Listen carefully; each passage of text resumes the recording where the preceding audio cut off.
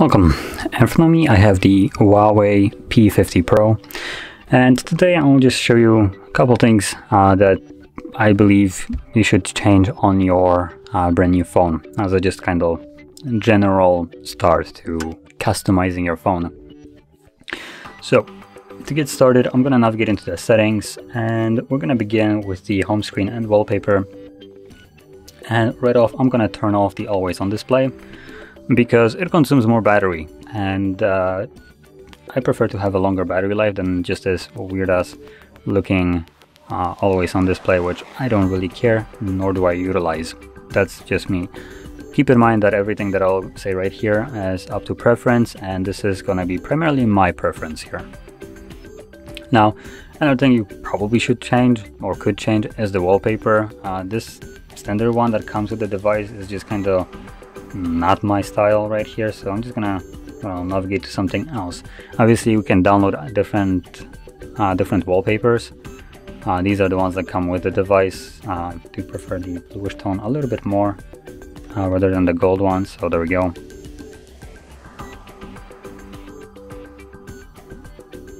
So now you can see we have a different wallpaper. And moving on to the next one uh, also was under the home screen and wallpaper and we have right here home screen style. Uh, by default, the phone comes with uh, this not very good um, option right here, which is the all apps uh, smack in the middle of your home screen.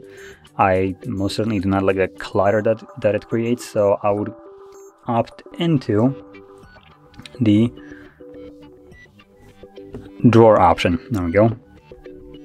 Which will create a drawer and remove majority of the clutter that was on your display. Now alternatively, uh, what I would also use instead of uh, the drawer, uh, just because I absolutely hate the Huawei launcher, would be a different launcher. Now personally, uh, on my Mate 20 Pro, I use a, uh, what is it, Smart Launcher 6 right now, and boy oh boy is it amazing. So there we go, as you can see, it works really nice. Uh, it has categories as you can see, so I can access different categories here. And it's just really nice launcher, works well. Um, it has a neat feature, uh, like an example, I can launch the single press my uh, music player of choice, then double pressing it will launch something like, as an example, uh, Spotify. You can choose what apps it will launch with single and double click. You can customize each icons and so on, uh, giving you a far cleaner and uh, more versatile launcher than this actual trash is here. So I would highly recommend checking that out instead. But sticking with not actually installing launchers, I can just change it into a drawer and it will give you a little bit of a better uh, better experience than having all your apps smack in the middle. You can still move those apps to your home screen if you want to. You can remove the ones that are on your home screen right now uh, it also uh, shows you suggestions, which just gives you the most uh, recently used apps, oh, four of them. And you can also search them by letters, as you can see right here. So that's another way. Though I really, really do like the way you can do it on here with the categories that it creates. So that's kind of one of the reasons why I really like the launcher. And once again, if you're planning to check out the launcher that I'm using, uh, that is a Smart Launcher 6. Anyway, let's move on to the next one, which is going to be the uh, gesture navigation. Now, this comes uh, enabled by default, so we can opt into not using it. But if you plan to change it back to things like the buttons because you don't like gestures, or if you want with the buttons and you want to switch it back to gestures, I can do so by going all the way down in the settings to system and update, and then system navigation, and in here you have the choice between those two. And moving on to the last option, it's going to be the dark mode. It's going to be located under the display and brightness, or right over here. So obviously enabled, turns on dark mode. Uh, this is an AMOLED display, which oh, OLED, so it turns any kind of like fully black surface uh, pixels completely off, meaning that they will consume less battery, again, prolonging your battery life. Now, unlike uh, other brands nowadays, uh, Huawei is still uh, several years behind with their uh, with their just skin of Android. because let's be honest, even though this is Huawei and they don't have access to Play services right now, meaning the newest updates of Android, uh, even when they had it, they were doing an absolutely terrible job at it and removing good features and uh, adding their own trash features. And I would know. I've been using for several year years uh, Mate 20 Pro, which also came with Play services, uh, limiting the options that came with the Android at that time. So, uh, one of the things that I'm pointing out here is the dark mode. Every device nowadays gives you the option to change the dark mode based on the time of day. Set it up as a schedule. What do we get here? Absolutely nothing. We get a hard toggle. Congrats Huawei. You removed another great feature from Android.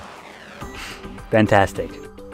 Now I'm gonna check one more thing. Um, just to uh, kind of read on the parade here.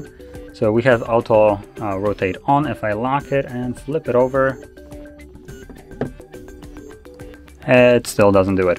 Great. A device that was released in, what is it, 2022 or 2021? One of those. Uh, still, uh, by some sheer stupidity, uh, has no uh, rotating option. Now, if you ever used a different device, uh, than Huawei. You're probably already aware that when you have your rotation off and you flip the device uh, over, it will just show you this tiny little icon for like the flipping screen. You can tap on it and it will just rotate the screen to that position of the device right now. Uh, actually allowing you to rotate it when you want it, not whenever the device is in different orientation. But we don't have that here. As well as we don't have the dark mode, uh, schedule mode here. But anyway, I kind of did diverge from the subject right here. So uh, the dark mode was basically the last thing that I wanted to show. Uh, even though it's limited here, it still gives you uh, an option to have it on or off and gives you the benefit of just extending your battery life. Uh, even though by not very big margin, it's still there, so you can enable it. If you prefer the dark mode, it has a benefit of giving you a little bit of a better battery life. Obviously, dark mode isn't the best solution, especially during the sunny days outside. Uh, you might struggle to see the screen with the dark mode, but um, then I guess you can just go back and change it to light mode in this case. And they do, I believe, have the toggle to quickly switch between and notifications right here. So there we go, there's a dark mode, so you can quickly swap it on and off whenever you want to change it. So anyway, this would conclude the things that I would recommend changing on here, and uh, if you found this very helpful, don't forget to hit like, subscribe, and thanks for watching.